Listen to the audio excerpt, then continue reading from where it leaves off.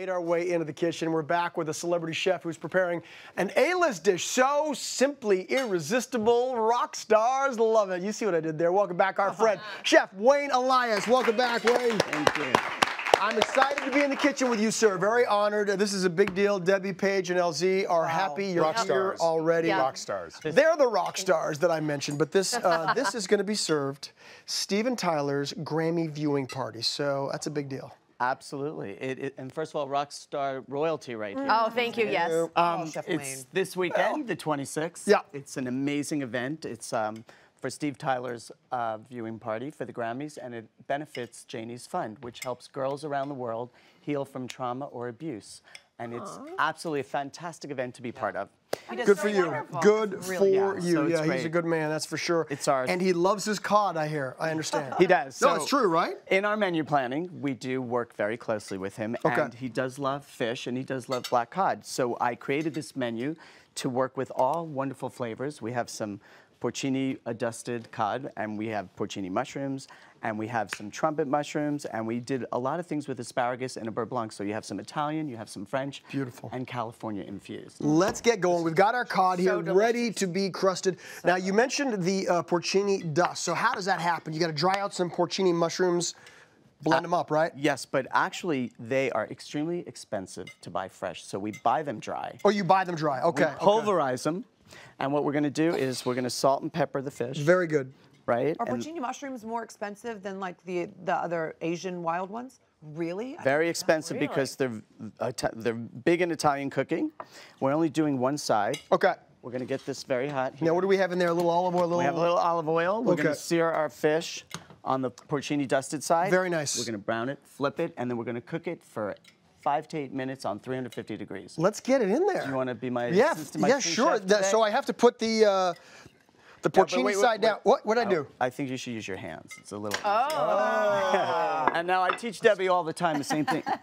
That's well, right. when I teach Debbie. Oh, you do it the other way, so it you- doesn't see, somebody's paying attention. I did pay attention. It didn't really sink in clearly, but I did pay attention. Always the other way because this way, if you splatter, you splatter Onto Paige. the royalty. Ah, of course. Um, but let me ask you this: How long do we have to? Uh, We're going to sear have this this, for a minute. You're going to see. See how that's already cooking and browning? okay.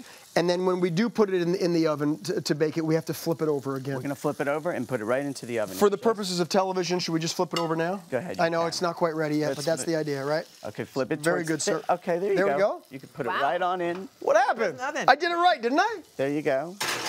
Everybody's Awesome. laughing. Oh my gosh. All right, Chef, now- This, this sauce, the beurre blanc, is phenomenal. Thank you. Wow. That's what we're gonna make right now. One more time, beurre blanc, Beurre blanc. which is French for white accent. butter. So to make this sauce, beurre blanc. we Oui, have oui. reduced some shallots and Okay. some white wine. Beautiful. And as, oh. as you can see, it's reducing all the way to the bottom, and we're gonna shut it off.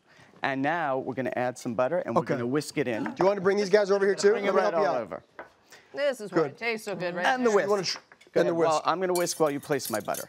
Okay. Wait, wait, what? Go ahead. Just put it in there? Not all of it, just two at a time. Oh, two at a time. All right, that's one. There's two. Go ahead, give me more. We got to do all these two at a time. Yeah, well, you know, because you want it to have a nice consistency. It's a nice little butter sauce. Beautiful. We don't want to have a broken butter sauce. what which- was in there first? So we have some white wine and shallots. Mm. You can add some herbs, and you're going to reduce it all the way down. You can give me another spoonful. Is Okay, good. very good. Now, a little trick that we do when we're making Tell it. us. I'm going to tell you. That's good. Actually, we don't need any more. Okay. You do not put it back on the stove, otherwise it'll break. So it stays room temperature or close to the heat, but never heat it up. Tell us what See, you mean by break. break? Tell us what break, Break means. means it's going to get separated, like it's overcooked. Oh. Okay. But a little trick that we do on big events, if we have to, we'll add a little bit of cream, which helps keep it and bind it and just give it a little more body. Okay. And this way we're not even worried. Smells incredible. Now, do you want to taste it with your spoon and see if I we mean, I need just some Yeah, sure, salt and pepper? absolutely. Here we go. Give it a little, taste. Tell me like if we need some salt and drink Yes, a little salt and pepper. Is that the right we- answer? that's it. To me, it tastes actually great, just like that. Okay, we're going to leave it just like that. Yeah. All right, That so yummy. Should we now? Uh, now we are going to uh, do a little bit of um, blanched asparagus. That's the plan, right? Yes. okay, good. The asparagus is already pre-blanched. It's a process that we do. We boil it in boiling hot water. Yep. We take it out and put it into an ice bath. Keeps it crispy, and it also keeps the color. Chef, can I ask you a specific Grab- oh, question you about it. blanching? Yes. I, I blanch a lot of vegetables. Now, here's, I never know exactly how long I'm supposed to blanch. Is it supposed to be 20 seconds? Is it supposed to be 30 seconds? How long? Because it goes from like, it, it really can change Not- the texture of a vegetable very quickly. And, and back up just a second. What is Blanche? Oh, Rue McClanahan, boiling it Golden really Girls. quick and then putting it in um, ice cold water. Right. So Oh. after Yeah. you boil it really quick, like okay, it depends on how big or how thick the vegetables are, but basically you want to just sh- drop them in. I would say not more than 60 seconds Okay, so because you want shock to keep it. it. cri- You want to shock it. You want to keep it crispy, Okay. al dente. You know. So Okay.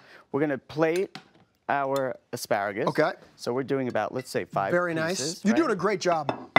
Would you hire me? Yeah. And let me Cameron's grab this. hands I don't want to in his burn pockets. myself. Right. And we're gonna place our fish right on top. Excellent. Okay.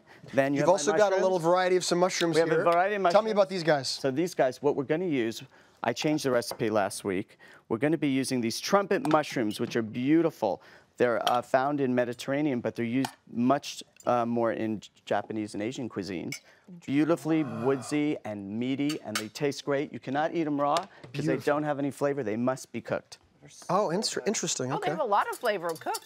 Yes, but not They're raw. yum. Do you want me to hold that while you drizzle? I feel like you should be the one Should I the drizzling. dri- okay. I was going to let you decorate. You're very, you're very kind. He's a good man. He's a good man, but I don't want to ruin the, the the work of art here. While you drizzle over that, can we talk about the other big event that you do every year? This is the 16th year you will be the executive chef for Sir Elton John's Yes. Oscar viewing party that he does with his AIDS Foundation. Do you have any idea what you're going to be cooking for that? I mean, I'm sure it's right around the corner. You must know. I, it is. It's on February 9th, 1,000 people. We build a village of tents at the West Hollywood Park.